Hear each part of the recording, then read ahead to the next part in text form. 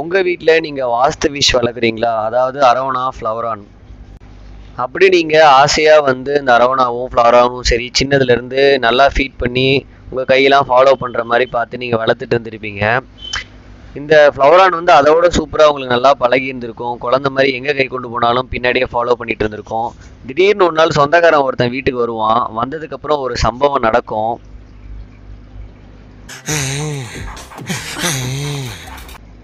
இந்த மாதிரி மீன்லாம் வந்து செத்து மிதக்கும் அடுத்த நாளே அது ஏன்னு நீங்கள் யோசிச்சிருக்கீங்களா?